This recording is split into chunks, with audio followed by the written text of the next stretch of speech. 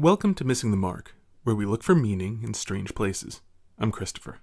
Today we'll be talking about what probability means in the real world.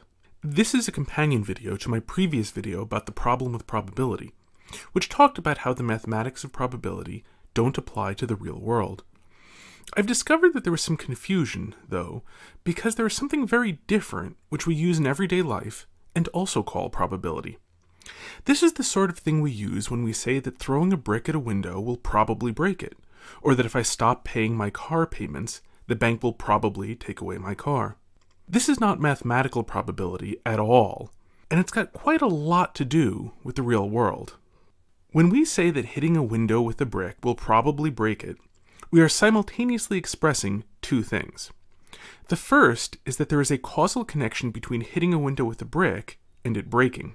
We know the properties of a brick, that it's got mass and therefore momentum when thrown and is quite hard, and we know the properties of a window, that it is hard but inelastic and won't deform when stressed, so when force is applied in excess of its tensile strength, it will shatter. These things are connected to each other in a direct way. The other thing we are expressing is that we live in a complex world where there are a great many things we don't know. For example, we don't know how hard the person will throw the brick. A very gentle throw, which just barely bumps into the window, will not break it, nor will a high shot that glances off the window on the way down with very little forward force. Some windows are thicker than others. Some windows are made of tempered glass. Some windows are not even made of glass at all, but rather Lexan. Some are a thin, relatively flexible layer of glass bonded to Lexan. That's a common form of bulletproof glass, I believe. Most windows are just made of ordinary window glass of ordinary thickness, but we have no way of knowing in general what a particular window is made of, so we can't say for certain that the brick will break it. What we're expressing is not that the causal relationship we know about doesn't always work, but that it may not apply. We might be dealing with something other than we thought we were. With the brick in the window, we can make sure of our facts, then be certain of the outcome. We can check that the particular brick has no flaws, ensure how we will throw the brick so it strikes the window with more than enough force, and verify what material the window is made of. We can also put up a net so that no birds will fly in the way, and so forth. In short, this type of probability is an acknowledgement of the limitations of our knowledge, but they are limitations to a knowledge which is of the world we live in. Moreover, knowing many things about this world broadly, there are limits not only to our knowledge, but to our ignorance. We cannot predict the weather, but we know that it is variable, so no trend continues forever. We know that populations of animals invariably follow a boom bust cycle. If there are giant numbers of deer this year, there will soon be large numbers of wolves, so while we can't be sure that this year won't have so many deer that they eat most of our crops, we know that if there is, there won't be in a few years. Though the individual years are unpredictable, the decadal cycles are not because we know that there are feedback mechanisms. In the worst case, many of us can switch to deer hunting until farming works again. All of these are things we know about the world, and that knowledge curtails the ignorance, which curtails our more particular knowledge. Incidentally, you can see where the generalization from this sort of knowledge of the world fails by looking at gamblers. People who are certain that their luck will turn around before they go broke are mistaking knowledge for how life usually works for knowledge about a system which does not work that way.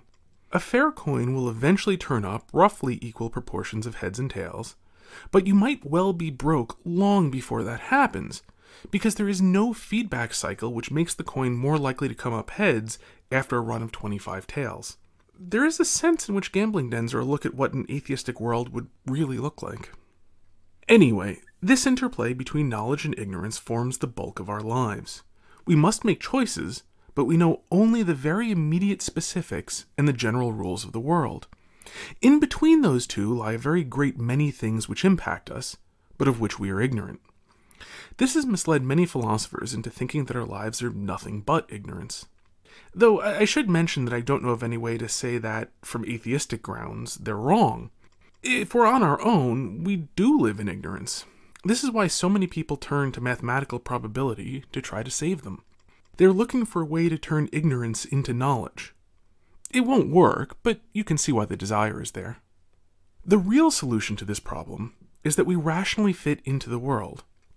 If the world was designed for us and we for the world, and if we desire the good of all things, then by following our best understanding of that good, that is, by acting virtuously, we will in fact achieve what we intend.